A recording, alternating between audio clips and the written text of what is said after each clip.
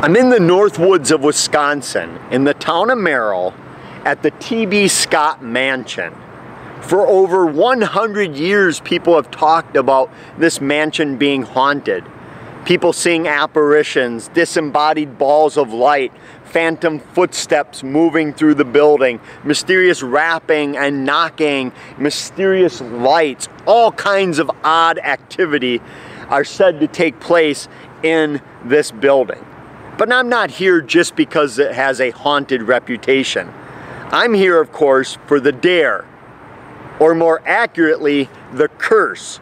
Long before the mansion was here, this was Native American land. And it was said that a chief cursed this land due to the death of his daughter. There are several variations as to why he cursed the land. Some say that his daughter was impregnated by a white man and she committed suicide. Others say that when the white people came here, they brought disease and she caught this disease and passed on.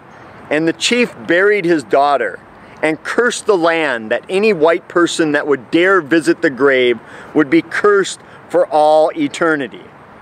So you might be wondering what this has to do with the T.B. Scott Mansion. Well, you probably guessed that according to legend, the mansion is built right over the grave of that young Native American woman. And maybe the curse is real. Many people have had bad things happen whether living or working here. T.B. Scott himself, the one who wanted the building constructed, died before even setting foot in the building. His wife suffered the same fate, their child died, and numerous other people that lived and worked here suffered the same fate as T.B. Scott. So I'm going to take this dare and visit the cursed area.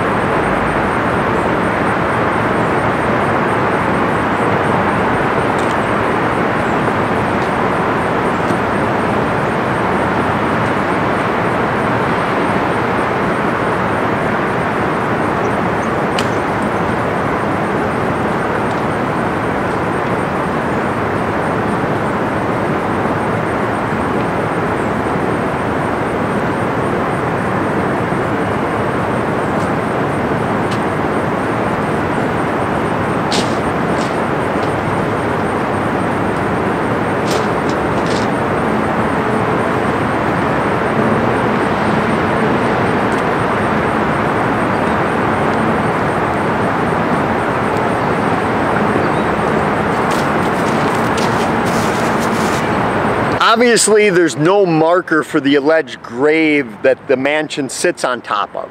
But if you're going to take this dare, I recommend you do it as quick as you can. As you can see, the place has been abandoned for several years and is in bad shape. There's a lot of argument over whether they're going to try to restore it or just simply tear it down. And due to the bad condition it's in, most likely it will get torn down. So visit while you still can. As for me, another dare completed and keep an eye out.